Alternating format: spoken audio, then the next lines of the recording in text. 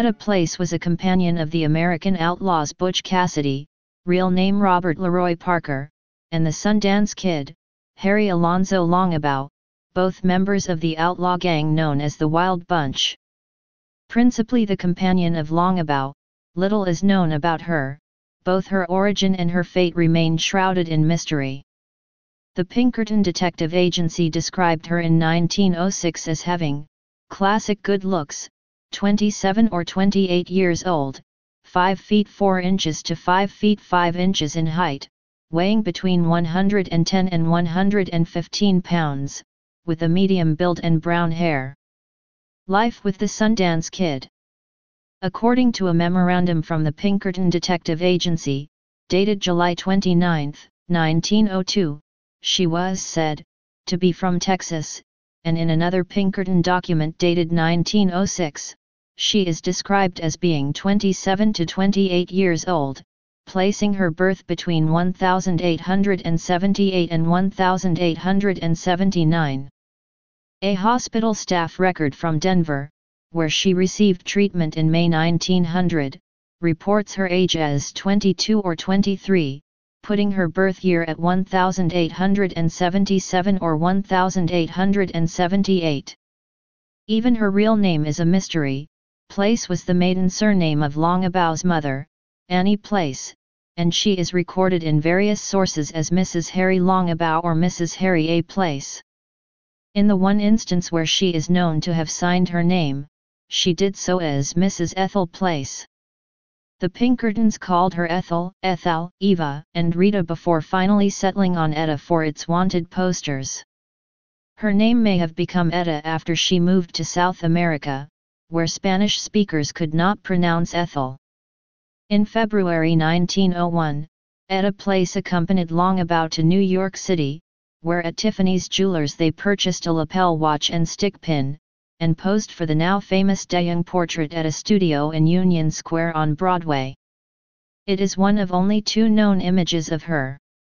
On February 20, 1901, she sailed with him and Parker, who was now posing as James Ryan, her fictional brother, aboard the British ship Herminius for Buenos Aires. There she settled with the two outlaws on a ranch which they purchased near Cholila in the Chubut province of west-central Argentina.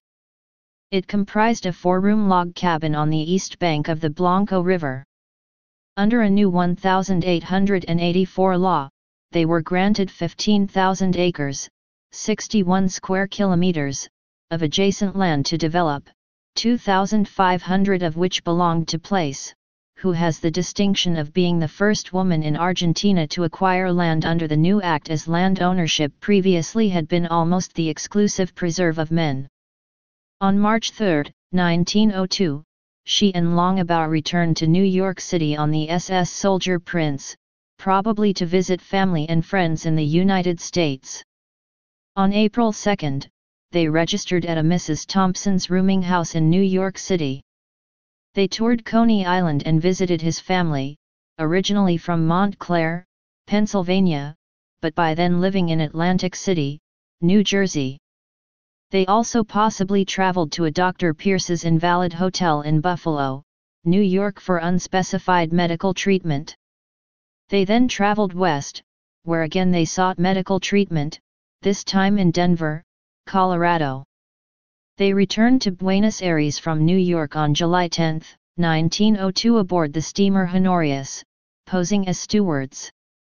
On August 9, she was with Longabaugh at the Hotel Europa in Buenos Aires, and on the 15th, she sailed with him aboard the steamer SS Chubut to return to their ranch. In the summer of 1904, she made another visit with Longabaugh to the United States, where the Pinkerton Detective Agency traced them to Fort Worth, Texas, and to the St. Louis World Fair, but failed to arrest them before they returned to Argentina. In early 1905, the trio sold the Cholila Ranch, as once again the law was beginning to catch up with them. The Pinkerton Agency had known their precise address for some months, but the rainy season prevented their assigned agent Frank Dimaio from traveling there and making an arrest. Governor Julio Lezana issued an arrest warrant, but before it could be executed, Sheriff Edward Humphreys, a Welsh Argentine who was friendly with Parker and enamored of Place, tipped them off. The trio fled north to San Carlos de Bariloche, where they embarked on the steamer Condor across Lake Nahuel Huapi and into Chile. By the end of that year, however, they were again back in Argentina. On December 19, 1904, Place took part, along with Longabaugh, Parker, and an unknown male, in the robbery of the Banco de la Nación in Villa Mercedes, 400 miles west of Buenos Aires. Pursued by armed lawmen, they crossed the Pampas and the Andes and again into Chile. Place had long been tired of life on the run and deeply lamented the loss of their ranch. At her request, on June 30, 1906, Longabaugh accompanied her from Valparaiso, Chile to San Francisco, where she apparently remained while he returned permanently to South America. There is no evidence that Longabaugh and Place ever saw one another again after that. Mysteries Those who had met Place claimed the first thing they noticed about her was that she was strikingly pretty, with a very nice smile, and that she was cordial, refined and an excellent shot with a rifle. She was said to have spoken in an educated manner, and she indicated she was originally from the East Coast, although she never revealed an exact location. Eyewitnesses indicated, years afterward, that place was one of only five women known to have been allowed into the Wild Bunch hideout at Robber's Roost in southern Utah, the other four having been Will Carver's girlfriend Josie Bassett, who also was involved with Parker for a time, Josie's sister and Parker's longtime girlfriend Ann Bassett, Elzy Lay's girlfriend Maud Davis, and gang member Laura Bullion. She was speculated to have once married a schoolteacher, and at least one person claimed Place said she was a teacher who abandoned her husband and two children to be with Longabaugh. The claim that she met the gang while working as a prostitute also is widely believed. Some claim that Place was originally Parker's lover and became involved with Longabaugh later and that she met both while working in a brothel as a prostitute. Both of those claims are possible as members of the Wild Bunch gang often alternated girlfriends. It is possible that she met Parker and Slash or Longabaugh in the brothel of Madame Fanny Porter in San Antonio, which was frequented by members of the Wild Bunch gang. In fact, through Madame Porter's, several gang members met girlfriends who later traveled with them, including Kid Curry and prostitute Della Moore and Will Carver and Lily Davis. Wild Bunch female gang member Laura Bullion is believed to have worked at the brothel from time to time. Identity theories. Ethel Bishop. It has been suggested that Place's real name was Ethel Bishop, who lived at a similar establishment around the corner from Madame Porter's at 212 Concho Street. On the 1900 census, Bishop's occupation was given as an unemployed music teacher. She was 23 then, born in West Virginia in September 1876. The Ethel Bishop hypothesis neatly combines the stories that she was a schoolteacher or that she was a prostitute in one person. Ann Bassett Another conjecture is that she was a cattle rustler named Ann Bassett, 1878-1956, who knew and operated with the Wild Bunch at the turn of the 20th century. Both Bassett and Place were attractive women, with similar facial features, body frame, and hair color. Bassett was born in 1878, the same year Place was thought to have been born.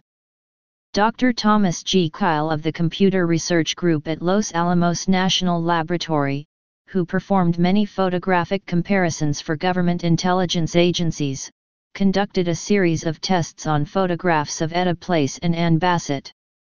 Both had the same scar or cowlick at the top of their forehead. Dr. Kyle concluded that there could be no reasonable doubt they were the same person. Historian Doris Karren Burton also investigated the lives of both women and published a book in 1992 claiming they were one and the same. However, Bassett's and Place's chronologies do not align. Several documents prove that Bassett was in Wyoming during much of the time when Place was in South America. Bassett was arrested and briefly incarcerated in Utah for rustling cattle in 1903, while Place was in Indiana, South America with Longabaugh and Parker. Bassett also married her first husband in Utah that year, and therefore, could not have been in South America during that time.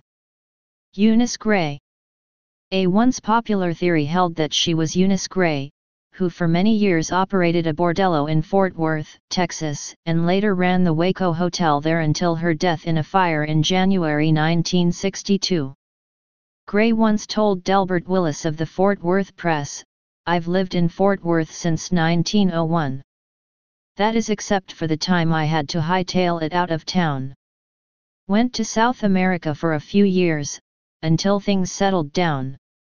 Willis conceded that Gray never claimed to be Etta Place, he merely made that connection on his own, given the similarities in their ages, and the period in which Gray said she went to South America coinciding with Place's time there.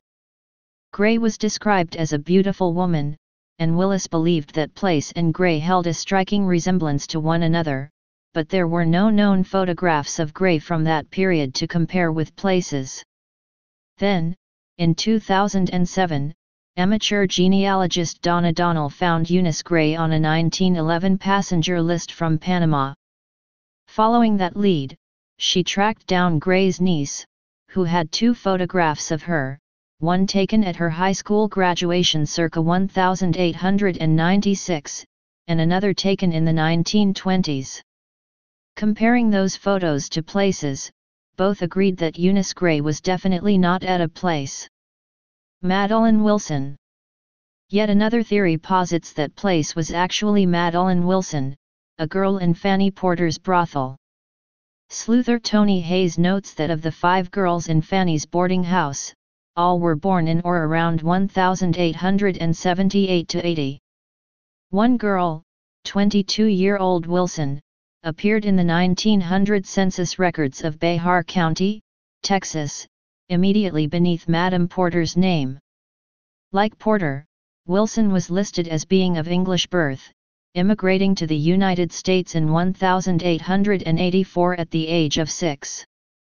Hayes theorizes that Wilson changed her name, and that her British accent, tempered by 16 years in America, might be described as refined.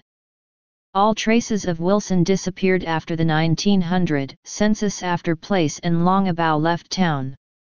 Life after Longabaugh There is still considerable debate over when Place's relationship with Longabaugh ended. Some claims indicate that Place ended her relationship with Longabaugh and returned to the United States before his death.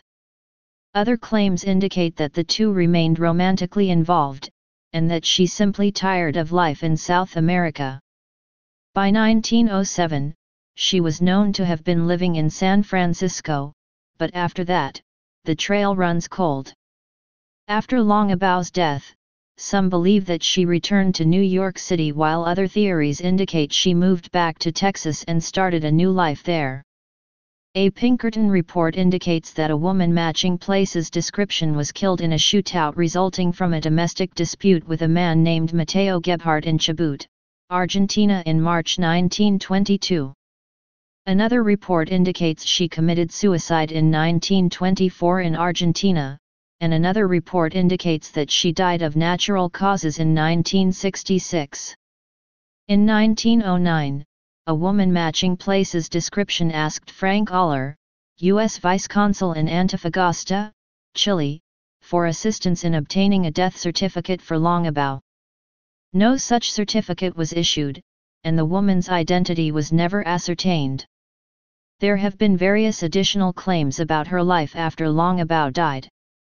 One claim is that she returned to her life as a schoolteacher, living the remainder of her life in Denver, Colorado, and another story claims she lived the remainder of her life teaching in Marion, Oregon. There are also various claims that she returned to prostitution, living the remainder of her life in Texas or New York or California. However, none of these claims has any supporting evidence. Author Richard Llewellyn claimed that while in Argentina he found indications that Place had moved to Paraguay following the death of Longabaugh, and that she had married a wealthy man. There also were rumors that Etta Place was in fact Edith May, wife of famous boxing promoter Tex Rickard, who retired to a ranch in Paraguay shortly after promoting the famous fight between Jack Johnson and Jim Jeffries in 1910. Author and researcher Larry Pointer, author of the 1977 book In Search of Butch Cassidy, wrote that Place's identity and fate are one of the most intriguing riddles in Western history. Leads develop only to dissolve into ambiguity. Fact timelines generally accepted by historians. 1899 to 1900, Place was living in Texas and being courted by Harry A. Longabaugh, aka the Sundance Kid. Some stories claim Place was a housekeeper or possibly a prostitute in Fanny Porter's sporting house during this time. December 1900, Place and Longabaugh reportedly marry, with his using the alias of Harry A. Place, shortly after he is photographed in the famous Fort Worth 5 photo. However, there are no marriage records to prove this. January 1901, Longabaugh and Place visit his family in Mont Clare, Pennsylvania. February 1901, Longabaugh and Place visit New York City and Tiffany's Jewelers. February 20, 1901, Longabaugh and Place board the RMS Herminius bound for Buenos Aires. March 3, 1902, Longabaugh and Place sail on the ship SS Soldier Prince from Argentina to New York City. Pinkerton detectives find evidence that Place was homesick and wanting to visit her family, but were unable to identify who her family was. April 2, 1902, Longabaugh and Place register at Mrs. Thompson's boarding house in New York City, and visit members of his family in Atlantic City, New Jersey, then visit Coney Island. July 10, 1902, Place and Longabaugh pose as stewards, and sail on the steamer Honorius back to Argentina. August 9, 1902, Place registers them at the Hotel Europa in Buenos Aires. Early to late 1903, Parker's former lover Ann Bassett marries a rancher by the name of Henry Bernard, and shortly thereafter is arrested for rustling. Summer 1904, Place and Longabaugh sail again to New York City to visit her family. Once again Pinkerton detectives discover she is homesick, but cannot discover the identity of her family. May 1, 1905, Place, Longabaugh and Parker decide to sell their ranch in Cholila, Argentina and leave South America to avoid the law there. Longabaugh and Place sail to San Francisco, where she remains, and he returns to South America. 1907, Place is living alone in San Francisco, and there is no evidence she has seen Longabaugh since his departure two years prior. July 31, 1909, a woman matching Place's description attempts to obtain a death certificate following Longabaugh's death in Bolivia so that she can settle his estate. She disappears from all historical records after that. With Longabaugh dead, Pinkerton's interest in her location wanes, and her trail goes cold. Media depictions In the film Butch Cassidy and the Sundance Kid, Etta Place is depicted as a schoolteacher. Screenwriter William Goldman was suspicious of claims that Place was a prostitute, he believed she was too attractive and vibrant to have worked as a prostitute, a profession that tended to age women prematurely and tax their health. Place was portrayed by Katharine Ross. Elizabeth Montgomery portrayed Etta Place in Mrs. Sundance, a highly fictionalized 1974 television movie. Katharine Ross reprised her role as Etta Place in Wanted, The Sundance Woman, a fictional 1976 made-for-television movie. In the 1994 TV movie The Gambler v. Playing for Keeps, she is played by Mariska Hargitay. In the 2004 TV movie The Legend of Butch and Sundance, Rachel Lefevre plays Etta Place. Etta Place was portrayed by Dominique McElligott in the 2011 film Blackthorn. Etta Place was the central character in Etta, a novel by Gerald Kolpan published in 2009 by Ballantine Books. Please subscribe and thanks for watching.